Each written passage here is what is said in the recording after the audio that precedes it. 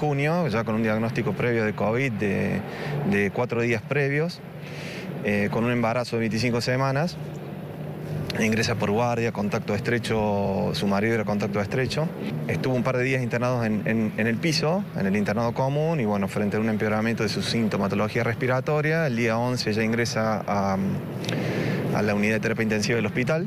Bueno, frente al empeoramiento de su cuadro respiratorio, el día 21 se toma la decisión de, de realizarle la cesárea, eh, que nace, bueno, una nena prematura de 900 gramos, y bueno, ella fallece al otro día, a la madrugada en realidad de ese mismo día.